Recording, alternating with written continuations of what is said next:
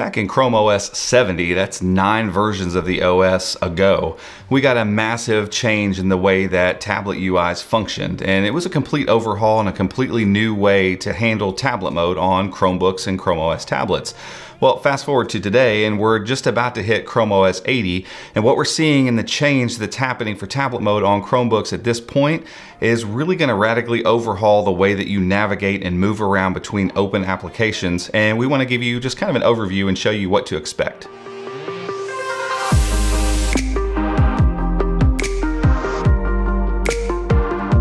So first things first, you're gonna need to be in Chrome OS 80. So you're at this point, if you're watching this video as soon as it comes out, you're gonna have to go to the beta or the dev channel. If you're not certain what that is or you're not comfortable with doing that, hang on just a little bit and we'll see this all roll into Chrome OS 80 in the coming days or weeks. Once you are there, once you're in Chrome OS 80, you're also gonna have to enable a flag. So if we go here, it's enable a modular design for the shelf or hashtag shelf hot seat.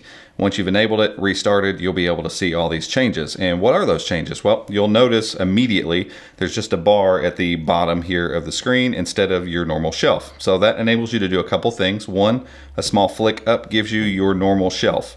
Flick it back down and it's gone. So it's not taking up that room when you're in tablet mode. That's kind of cool. A quick flick up takes you to your home screen. So similar to the way you see on Android or iOS your main home screen is always going to be navigated to by a quick flick upward. And once you're at that screen, you'll always have the shelf here.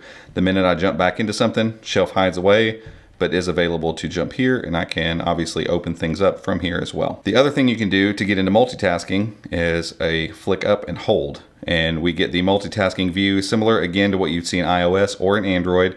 We've got kind of the scrolling open applications here and you can Again, flick up to go home, flick up, hold, get these, and then you can long press and drag them to either side, assuming the app supports split screen, and these both do. And then from here, you can flick up and hold to get multitasking on either side. So if I go up here, boom, multitasking, or here multitasking. Now, for now, they have not taken away the swipe down from the top to go to multitasking. My guess is they will probably remove that, and so swiping up from the bottom will be the way that you enter multitasking. The other additional thing that they have worked out here, and let me show you on a, an app where it works properly. So say we go into YouTube, I start a video, oh, it's not the video I wanted, I wanna go back. Well, there's a back button here all the time, but if you want a gesture just like in Android, swipe here, and it'll take you back when it works. And now we've gone back. The problem is in something like the Play Store right now where you have a swipe out menu is when I try to swipe in, it brings the menu out and then just completely freaks out.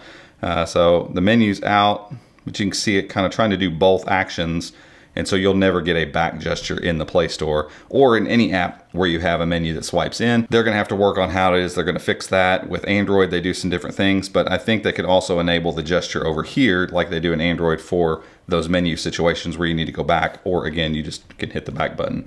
But that's pretty much it. I mean, if you're coming to this from iOS or from Android, this is gonna feel like native and a normal way to get around a tablet UI. And I love the fact that it kind of has its own feel and it maintains a lot of what they've worked on with Chrome OS's tablet mode, but it's just giving you a gesture navigation that works, and I'm really happy with how well it works. We're just now getting to see it, and instead of it being janky and full of bugs, it pretty much works the way you expect it to aside from that one back gesture. So overall, this is a really nice development and I'm excited to see this roll out in conjunction with some of the tablets that we expect to see in the upcoming months. So that's everything that's new with gesture navigation on Chrome OS tablets. And that's it for this one, guys. If you liked it, give it a thumbs up. Go down there and hit the subscribe button and make sure and hit the notification bell if you'd like to be alerted when we make future videos just like this one. Till next time, we'll see you.